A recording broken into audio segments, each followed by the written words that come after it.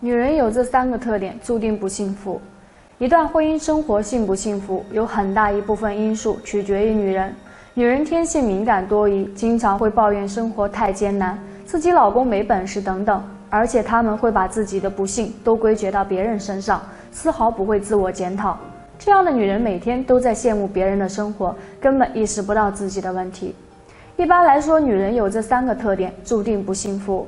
一想太多的女人。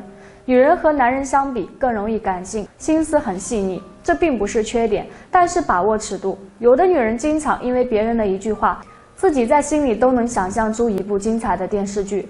比如老公在外应酬客户，很晚才回家，她连原因都不问，就以为男人在外面遭夜花。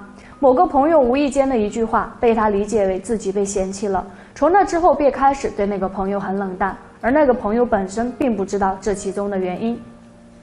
无论什么事都会在他心里停留很久，翻来覆去，胡思乱想，爱钻牛角尖，什么事情都要问个一清二楚。久而久之，男人就会很疲惫，而你们的感情也即将破碎。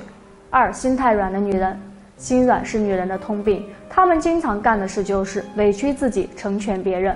比如男人出轨后对你苦苦哀求，你很快就会心软原谅他，结果会换来他变本加厉的出轨。总之，不管男人做了什么事，最后你都会原谅他。一个不懂得心疼自己的女人，怎么去奢求别人心疼她呢？这种女人注定过不好这一生。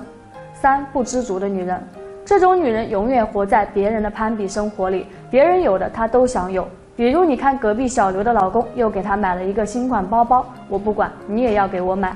在她眼里，任何东西都是别人家的好。不知足的女人，一旦自己的欲望不被满足，就会苦闷。根本不会感受到自己生活的幸福。